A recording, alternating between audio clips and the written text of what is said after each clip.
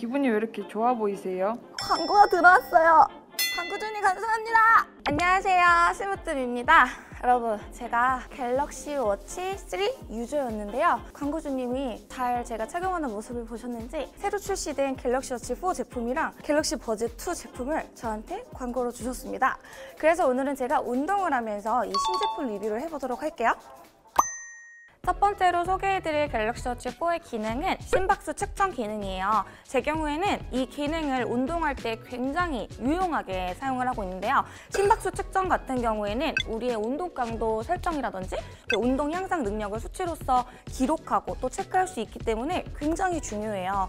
또는 우리가 호흡을 하거나 운동 강도 중에 내가 지쳐 있는지 또는 내가 지금 이게 고강도라서 운동 강도를 조절해야 되는지 그런 조절력에 있어서도 중요한 지표가 되기도 해요. 오늘은 제가 이 심박수 측정 기능을 가지고 slow burpee를 한 20개 정도 했을 때 심박수가 어디까지 올라가는지 그리고 버피 테스트를 한 10개 정도 했을 때 심박수가 어디까지 올라가는지 제가 한번 심박수로 비교를 해드릴게요.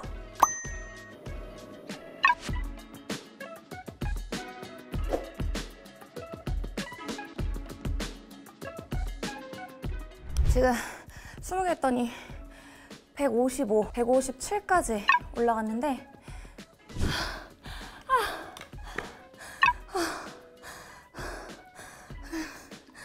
제가 가끔 무산소성 운동, 예를 들면 파워리프팅이나 크로스핏 같은 거 하면은 190까지 올라가거든요. 그거는 산소를 사용하지 않아요. 호흡이 불가능하고 약간 무산소 운동이라고 해도 진짜 될 정도의 강도인 거고 지금 딱 이 slow burpee랑 burpee 테스트 했을 때는 제 심박수가 한 150에서 160 선에 있었죠. 근데 이게 사람마다 똑같은 버피 테스트랑 slow burpee를 하더라도 유산소적 적응을 얼마나 하는지에 따라서 심박수의 차이도 있고 운동 효과 그 다음에 이거로 인해서 몸이 바뀌는 정도가 다 달라져요. 이게 본인의 개인적인 컨디션이라든지 운동 기록을 통해서 건강 상태, 그 다음에 운동 기록, 그 다음에 운동의 목표 설정에도 도움을 받을 수 있어요. 이렇게 숨이 차지만 두 번째 기능을 소개하러 가볼게요. 으뜸님 지금 뭐 하시는 거예요? 일로 와봐요. 제가 지금 체성분 측정을 했는데요. 갤럭시 워치 제품으로 체성분을 측정할 날이 오다니 저 진짜 약간 소름 돋았거든요. 이번에 갤럭시 워치 4랑 워치 4 클래식 제품에는 새롭게 BIA 센서 기능이 탑재가 되면서 손쉽게 15초 만에 언제 어디서든 체성분 측정이 가능하게 됐어요. 일단 첫 번째 측정한 거를 기준치로 삼고 거기서부터 변화치를 케어하는 정도로 이 기능을 사용한다면 아주 효과적으로 life 패턴 안에 들어올 수 있을 것 같아요. 다음 기능은 fitness tracking 기능이에요. 제가 워치 3 제품에서도 굉장히 잘 활용을 하고 있었던 tracking, fitness tracking은 기록을 한다는 뜻인데 이 tracking 기능이 한층 업그레이드가 돼서 운동 경로 그리고 상세 결과를 알려주고 90가지가 넘는 운동을 더 정확하게 측정을 하게 됐다고 해요. 그래서 제 경우에는 스쿼트를 자주 활용을 하고 있었는데 간간히 제 횟수를 놓치기도 했었거든요.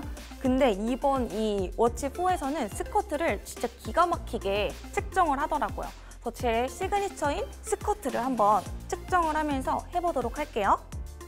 자, 스쿼트 버튼을 누르고 확인을 누르면 준비 자세를 취하면 운동이 시작됩니다 라는 멘트가 떠요. 갑니다. 시작! 소리가 되게 깔끔한 것 같아요. 거기다가 버즈까지 연동을 해놓으면 이 소리랑 이 횟수랑 누적으로 내가 알 수가 있으니까 훨씬 더 정확하게 운동 기록을 측정할 수 있을 것 같고요. 제 소중한 지금 스쿼트 개수를 하나도 놓치지 않고 있어요. 너무 좋은데? 저 스쿼트 100개만 해도 정확하게 개수 못 세거든요? 이제 워치 4 제품이 제, 제 스쿼트와 함께 해줄 거예요.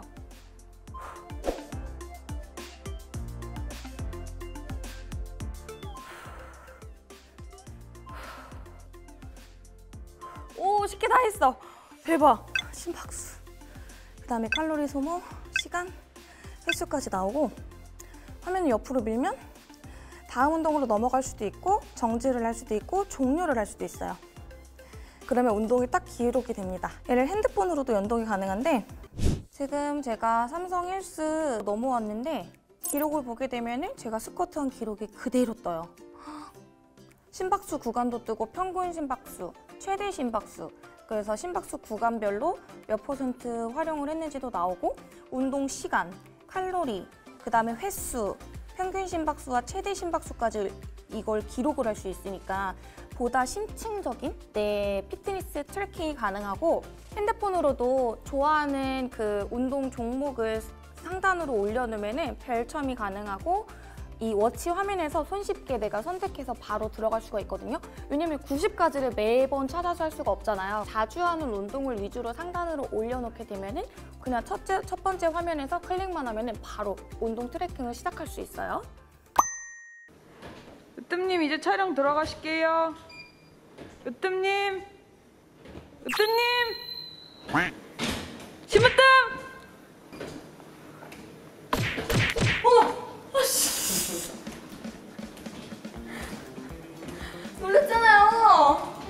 제 목소리 안 들리셨어요? 안 들렸어. 지금 제가 active noise canceling 기능 켜놓고 있던 상태라서 주변 소음 다 차단되고 있었어요. 근데 지금 제가 다시 꾹 버튼을 누르면 주변 소리 듣기 모드가 다시 온이 되면서 다 들리거든요. 주변에 혹시 무슨 일이 있을 줄 모르잖아요. 그래서 이 기능을 켜놓고 꾹 누르면 다시 내 공간 안에 갇혀요. 다시 꾹 누르면 주변 소리가 딱 들려요. 이렇게 컨트롤이 가능하니까 진짜 삶의 질이 높아진 느낌? 운동이 한층 더 퀄리티가 높아진 느낌? 그런 느낌이 확 들거든요. 음질도 장난 아니고 진짜 어떻게 이만큼 noise canceling을 할 수 있지? noise control을 할 수 있지? 라는 생각이 들어요. 제가 지금 갤럭시 워치 4 다섯 대를 찼는데요. 지금 보시면은 밴드의 두께감은 똑같은데 워치 화면에 40mm부터 44mm까지 선택을 할 수가 있고 지금 제 앞에 버즈도 이것까지 포함해서 무려 4가지 색상이 나왔어요.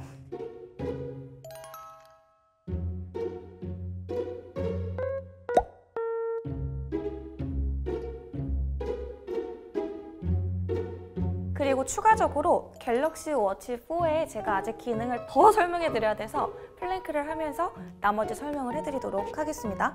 제가 plank를 하면서 잠시 우리 신제품들의 받침대가 되어 드릴게요. 제 몸에 이 신제품들을 올려주시고 저는 plank를 하면서 마무리를 지어보도록 하겠습니다. 자, 저는 plank를 시작해 볼게요. 제가 갤럭시 워치 4 기능을 더 설명해 드릴 기능은 혈압과 심전도 그리고 나침반과 그룹 challenge 기능인데요.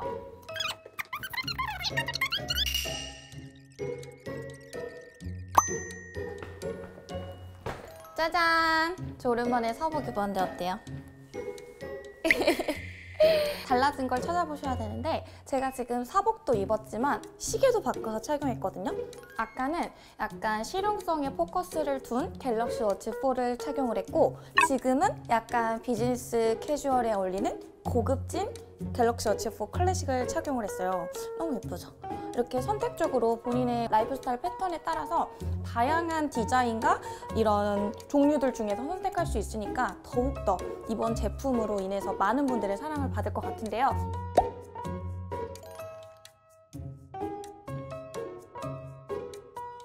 평소에 스마트워치라든지 웨어러블 제품에 관심이 있으셨던 분들은 이번에 출시된 갤럭시 워치 4, 갤럭시 워치 4 클래식, 그 다음에 갤럭시 버즈 2 제품까지 많이 많이 사랑해 주시고요. 힙으뜸 채널도 많이 많이 구독, 좋아요, 알람까지 부탁드릴게요. 저는 이제 퇴근합니다. 안녕!